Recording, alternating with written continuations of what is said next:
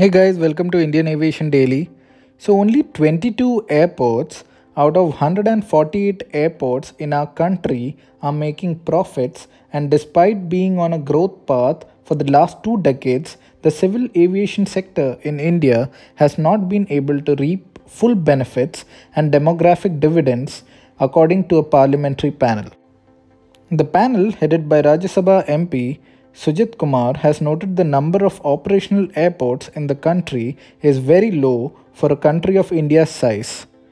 Though the civil aviation sector in India has been on a growth path for the last two decades, it has not been able to reap the full benefits of the growth in Indian economy and demographic dividends, which is evident from the fact that in all India has 148 operational airport which is very low for a country of our size.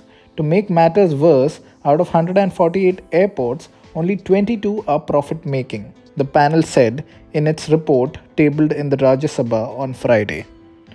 There is thus a huge upside in constructing airports. India is a country of approximately 1.4 billion people, and though passenger and cargo traffic have witnessed significant growth during the last two decades, there are significant challenges to be overcome.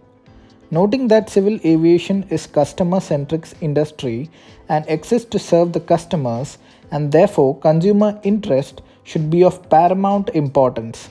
The panel has recommended that more endeavors be made to enhance the passenger experience and operational excellence at AAI Airport so that they could match the PPP airports and their service levels are at par with the international standards.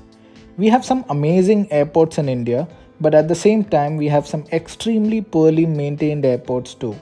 I hope there is some standardization of infrastructure in case of airports across the country. Happy landings, guys. Cheers.